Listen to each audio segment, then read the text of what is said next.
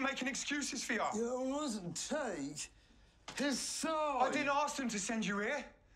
It's bad enough Mike being the only fucking guy who give me a job without you acting up. You should stop doing what Mike tells you.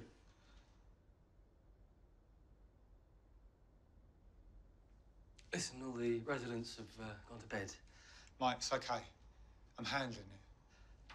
I've left something in the kitchen for you. Why don't you go and get it?